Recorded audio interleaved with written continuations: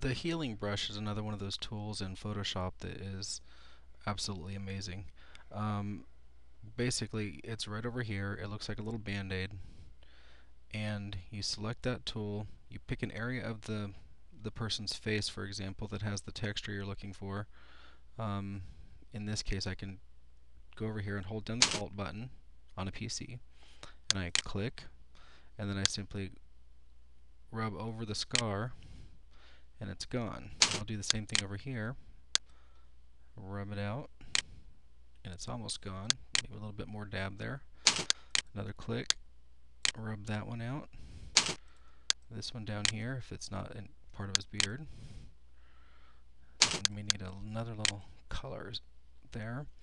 Okay, and then up by his eye, it could be a little trickier, but probably be okay. Undo that one. Okay, and then, so you can see how helpful that brush would be. Let's take this little pimple out over here. And maybe a little fine tuning. Alright, and so there you have the healing brush.